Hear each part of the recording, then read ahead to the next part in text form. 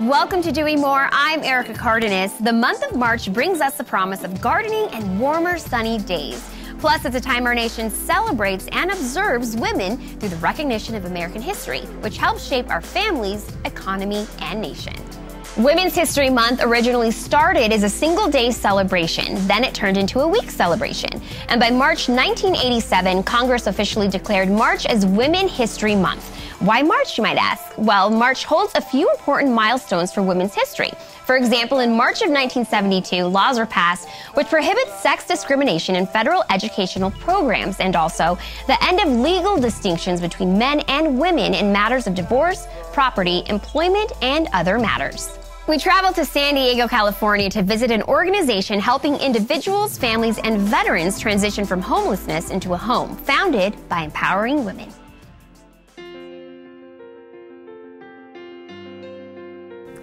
Humble Design is a nonprofit group that uh, was first organized in Detroit and is now spreading nationwide. And they came to San Diego last summer. And their goal is to help homeless people transition from shelters into homes. This is the third home that La Jolla Cosmetic Surgery Center has sponsored. And in each instance, the reaction was very similar, which was that people said they felt humbled by participating and that it gave them perspective and a sense of a way to help in really a short space of time. You're talking about five hours as a volunteer to make this huge difference for these families. Again, remember the journey from, from homelessness and from the shelter to the empty apartment or home. And now they're coming home and they enter for the first time and they see their life as they haven't seen it perhaps ever or certainly in many years. And it's an honor to be able to witness that. And anyone who's watching this who wants to know what that is like, I suggest you go to humbledesign.org and look at the videos of the dozens of homes that um, have been done around the country. And I think you'll be like us, which is you'll want to call and you'll want to help. I choked up during this application process. Had to fight back tears. I had to go take a drink of water. They find out what you want deep in your heart, and then they try to, they, they make every attempt to give that to you. Being involved with Humble Design is really easy and simple. Just go on our website at humbledesign.org and fill out the volunteer form. Once you do that, we'll let you know what opportunities are in your city. You can either decorate a home for a family who has left a homeless shelter, or organize the warehouse, or come down with all of your employees to help us decorate together. If there's only one thing that people need to know about helping the homeless, I would say that everything that you give to them, you will receive back. You will go away with a sense of well-being and happiness for what you've helped to do, and they go forward um, in a much more secure way and a way for their family to truly have joy. All of you, all of you, amazing. Wonderful work, wonderful. You've changed my life. I can bring my kids here and everybody who doubted me, they can come here and just be like, you know, Michael has a home. That's right. Humble Design couldn't function without the dedication and help of their volunteers and generous donations. They aim to build a creative network of individuals who are committed to work toward those affected by homelessness.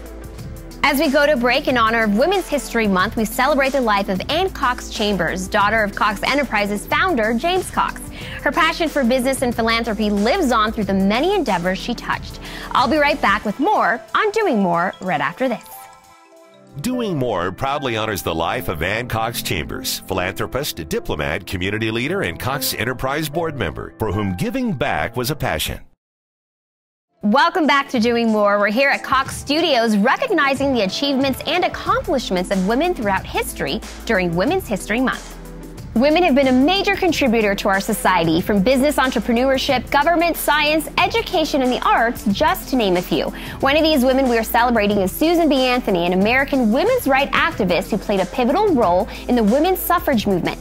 Committed to social equality, Susan collected anti slavery petitions at age 17, making a positive impact on society. Now let's take a look at an expedition event where youth and families learned about the Sonoran Desert. Welcome to the McDowell Sonoran Conservancy's 2020 Expedition Days, taking place in the McDowell Sonoran Preserve in Scottsdale. The preserve is the largest urban land preserve in North America, so come out and join us. My name is Justin Owen, and I am the Executive Director of the McDowell Sonoran Conservancy. This event is of great importance for our education programs because we're not only educating youth from around Scottsdale, but also from around the valley. Over the last two days, we were able to bring out over 650 Title I third and fourth graders from across the valley to teach them about science and our environment. But one of the great things about our public day is it gives an opportunity for families and youth to come out and learn about how they can save our environment and how they can learn to live in the Sonoran Desert and complement where they live. Our volunteers are absolutely amazing. We have over 650 volunteers with the organization that help us every single day, but it takes over 150 to put on our Expedition Days event. Cox's partnership is 100% invaluable for us being able to do this. For our elementary school days that we bring the students out, it is no cost to any of the students or teachers to be here, and that's only possible because of our amazing supporters like Cox. The reason these events are important to the preserve is the City of Scottsdale and the Conservancy work in a unique partnership. The City of Scottsdale has purchased 30,000 acres in perpetuity. If this thing exists by itself and nobody comes out here, it's an unknown treasure. The Conservancy advocates for the exploration of these 30,000 acres. This is so important because we've got the future of conservation at our fingertips. These kids come out here, they're excited, they're, they're just enraptured by the experience. They're seeing things that they haven't seen, or at least for the first time. That's the next generation. The sustainability of, of, of these wild and open spaces rests and relies upon the next generation taking up the uh, flag, so to speak, and, and advocating for the preservation of things like this. It's, it's an incredible, important thing to do to educate the youth, to get the next part of activism involved. Um, so I think it's fundamental in, in the future. Throughout the year, the Conservancy has over 150 free events, everything from hikes to our Expedition Days Festival to the Arizona Children's Learning and Play Festival coming up this fall. They're all free to the public, and anyone can come out and participate in anything we're doing. You can come out and enjoy the preserve, enjoy the recreation, and learn. Thank you for joining us today out in the McDowell Sonoran Preserve. Feel free to visit us at the McDowell Sonoran Conservancy anytime for some fun and learning.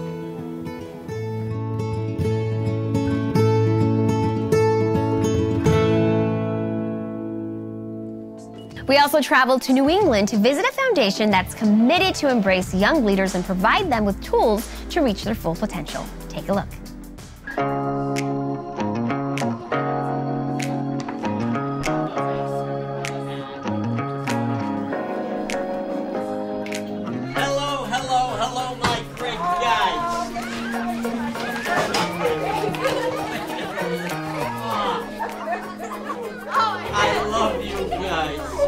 My name is Alan Shawn Feinstein, and I'm the founder of the Feinstein Foundation.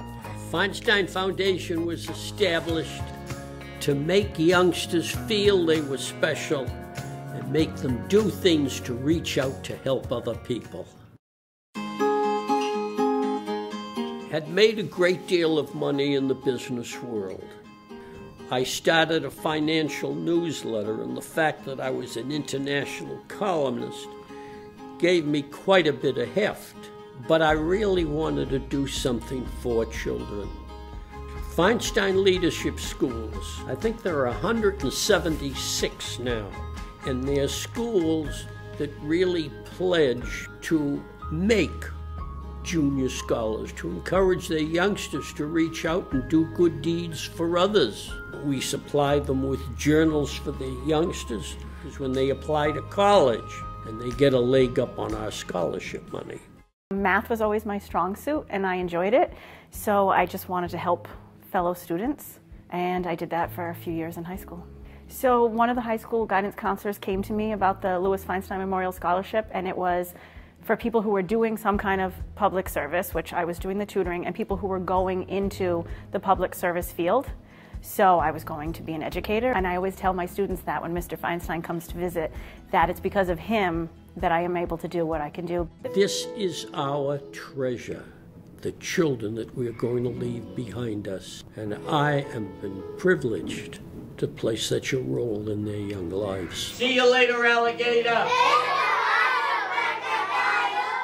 Every time you do something that makes somebody smile, you make the world a better place, and that makes you a very special person. As of 2019, over 250,000 children have been recognized as Feinstein Junior Scholars for promising to do good deeds for others. We'll be right back. A generous philanthropist, Anne Cox Chambers supported numerous community and arts organizations, including Atlanta's High Museum of Art, where a wing is named in her honor. Welcome back to Doing More, where we shine light on the good things happening in our communities. We're here at Cox Studios recognizing the accomplishments of women trailblazers during Women's History Month.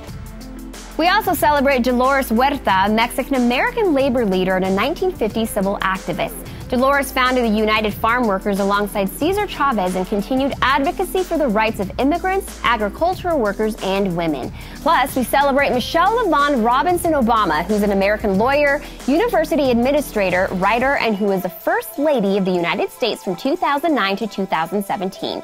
She's married to the 44th President of the United States, Barack Obama, and was the first African American First Lady of the U.S. Check out an organization founded by mothers designed to tackle important youth issues and designed to empower children. At MASK, Mother's Awareness on School Age Kids, our mission is to engage and educate both parents, children, and the community on any issues facing children. So, whether it's bullying or internet safety, self esteem, current drug and alcohol trends, we want to educate parents and children and empower children to make safe, healthy choices. We engage, educate, and empower parents and children in a few different ways. Number one, we have the Mask E3 Institute. That's a prevention program that runs digitally in schools.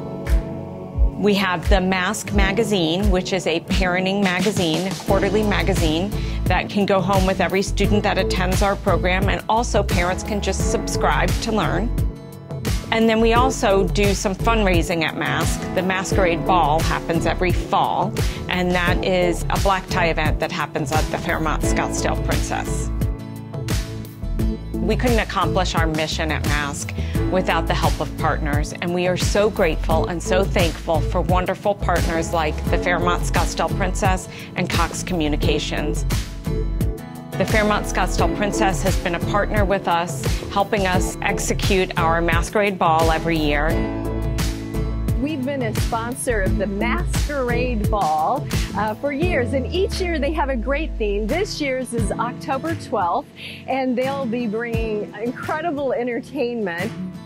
That community partnership we have with Mask is perfect for the family entertainment that we offer here at the resort. It is really an incredible synergy and a relationship we treasure.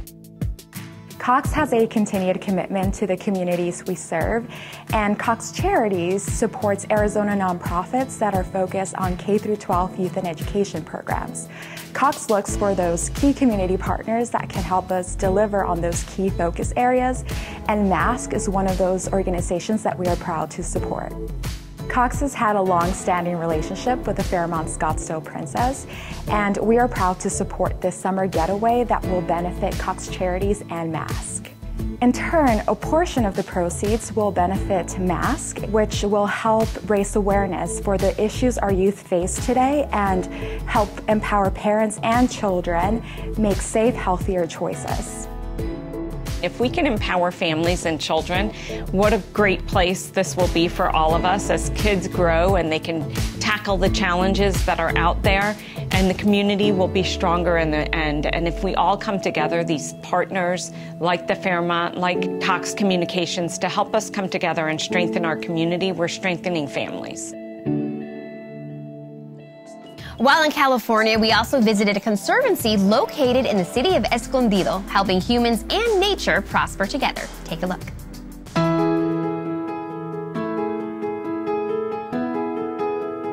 Traditional conservation groups tend to remove humans from the conservation equation. Humans live in ecosystems, and in a lot of cases, humans have the power and the control to help conserve ecosystems. So we have two major program areas that we focus on. One is we build fuel efficient stoves in developing countries, and the other is we're designing and building aquaponics systems here in the United States. What we at EcoLife Conservation hope to communicate through aquaponics is that there are alternatives to growing food that would greatly reduce the impact modern agriculture is having on the planet. With aquaponics, we can grow a wide variety of fish and plants using a fraction of the resources. Inside this fish tank live 120 Mozambique tilapia. The waste that they produce will be converted into a natural fertilizer for our plants. The plants in turn will take up that fish waste and purify the water for the fish. The synergistic relationship between fish and plants is what makes aquaponics such an efficient means of growing our food.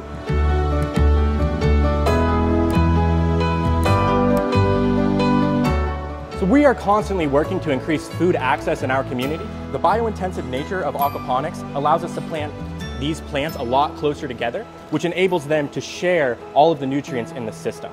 Our plants are growing directly into the water, which prevents them from becoming root bound as they may become in the soil. We're also not losing any water through evaporation or seeping into soil.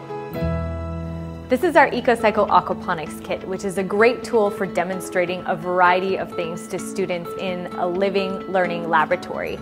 We can talk about nutrient cycling, chemistry, ecology, all in one hands-on system. We're also distributing our aquaponics kits to classrooms all over the United States. With our stove program, 3 billion people around the world cook on open fires, either in their homes or outside of their homes. It's like having a, a, campfire in your kitchen. As you can imagine, it poses a whole host of threats to the family. These fires are extremely inefficient and contribute widely to deforestation around the world. And so we come in with a stove that is culturally appropriate and safe to the family that reduces fuel wood use by up to 60% or more. We're building these stoves around the monarch butterfly biosphere reserve in Mexico to protect butterfly habitat. The monarch butterflies migrate all the way from Canada to central Mexico where they spend the winter. And if those forests are degraded or destroyed, there's nowhere for the butterflies to spend the winter. So these stoves help protect butterflies by reducing fuel wood harvest in those forests where the butterflies live. And if we can revolutionize the way that we're growing, distributing, and cooking our food, we can all play a huge part in making the planet a more sustainable place to live for us, for our children, and for our grandchildren.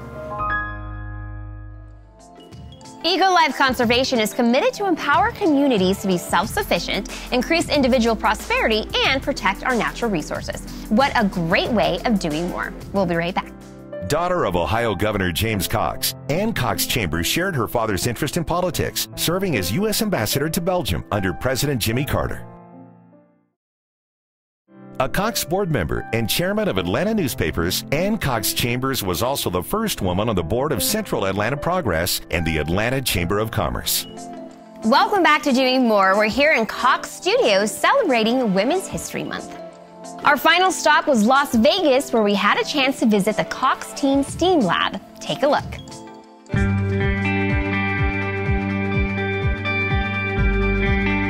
I was super excited to come out here today to open up the new Cox Teen STEAM Lab, which is the first one of its kind here in Las Vegas at the Enterprise Library.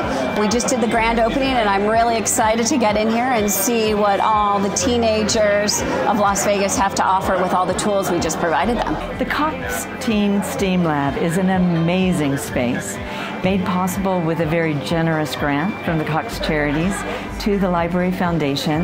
And the Las Vegas Clark County Library District has situated it here in the Enterprise Library, which is a really amazing neighborhood full of uh, families with children who are moving from being tweens to teens, and we're really excited about the kind of teens that we're going to see here and the experiences that we're going to be able to bring them as they find the kinds of technologies that are really shaping the world around them. This is really a step up in technology with 3D printing. They're going to be able to look at a knitting tool. They're going to be able to make movies. They're going to be able to get super creative and build skills that, again, they probably didn't even know they had. It was really cool getting to see all of this the iMacs, the cameras, the 3D printer, making the, the making the trailer for the iMovie, and it was just all super cool and really great. All these new computers, these 3D printers, piano, even a Raspberry Pi here, which is one of just the many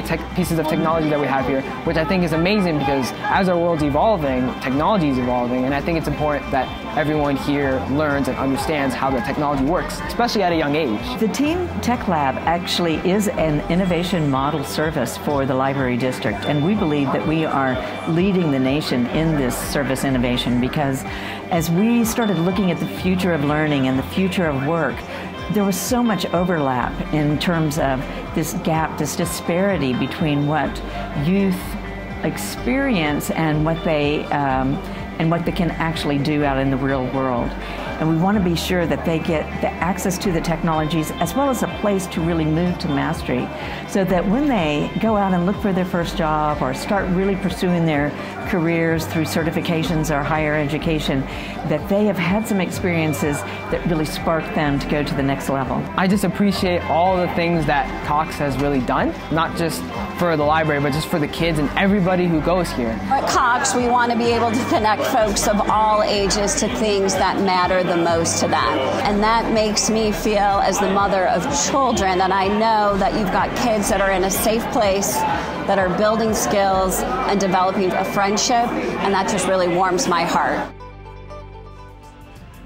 We want to thank you for celebrating Women's History Month with us. Throughout American history, women have played pivotal roles in the building and development of our country. The participation and contributions of women has been an important ingredient in achieving an equitable, peaceful, and more prosperous society. Despite significant obstacles, women have broken barriers, changed laws, and orchestrated some of the most powerful movements in history. And so, to all the mothers, daughters, and sisters, happy Women's History Month. I'm Erica Cardenas. See you next time.